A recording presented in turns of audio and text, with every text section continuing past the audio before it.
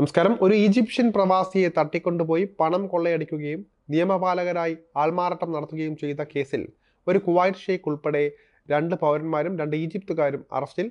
Jleeb അൽ ഷുയുഖ് പ്രദേശത്താണ് കേസിനാസ്പദമായ സംഭവം അരങ്ങേറിയത്. പോലീസ് എന്ന വ്യാജേന വാഹനത്തിലെത്തിയ സംഘം പ്രവാസിയെ ബലമായി പിടിച്ചുകൊണ്ടുപോവുകയും ഇദ്ദേഹത്തിന്റെ കൈവശമുണ്ടായിരുന്ന മുപ്പതിനായിരം കുവൈറ്റ് ദിനാർ ബലമായി പിടിച്ചെടുക്കുകയും ചെയ്യുകയായിരുന്നുവെന്നാണ് പോലീസിനെ ഉദ്ധരിച്ച മാധ്യമങ്ങൾ റിപ്പോർട്ട് ചെയ്തിരിക്കുന്നത് തുടർന്ന് പോലീസ് സംഘം അൽ അമേരിയ അസോസിയേഷന്റെ പാർക്കിംഗ് സ്ഥലത്തേക്ക് കൊണ്ടുപോയി തെളിവെടുക്കുകയായിരുന്നു. പിടിച്ചുപറിച്ച പണവുമായി അവിടെയുള്ള ഷെയ്ഖ വാഹനത്തിൽ നിന്ന് ഇവിടെ ഇറങ്ങുകയായിരുന്നു. എന്നാൽ ഈ ഒരു പ്രവാസിയുടെ ശക്തമായ ചെറുത്തുനിൽപ്പിനെ തുടർന്ന് വാഹനത്തിന് ദേഹത്തെയും കൊണ്ട മുന്നോട്ട് പോകാനായില്ല.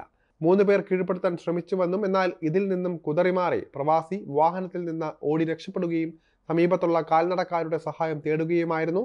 ഉടൻ തന്നെ സംഭവം പോലീസിൽ റിപ്പോർട്ട് ചെയ്തതിനെ തുടർന്ന് സുരക്ഷാ ഉദ്യോഗസ്ഥർ ഉടൻ തന്നെ സംഭവസ്ഥലത്ത് എത്തുകയായിരുന്നു.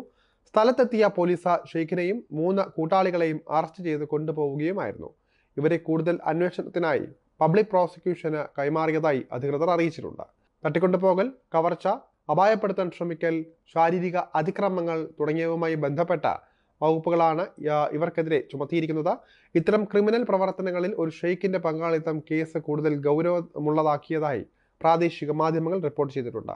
പ്രതികൾ എത്ര ഉന്നതരായാലും രാജ്യത്തെ നിയമവാഴ്ച ഉയർത്തിപ്പിടിക്കുന്നതിലും ഇത്തരം ഹീനമായ കുറ്റകൃത്യങ്ങൾക്ക് ഇരയായ പ്രവാസിക്ക് നീതി ഉറപ്പാക്കുന്നതിലും പബ്ലിക് പ്രോസിക്യൂഷൻ പ്രതിജ്ഞാബദ്ധമാണെന്നും അധികൃതർ അറിയിച്ചിട്ടുണ്ട്.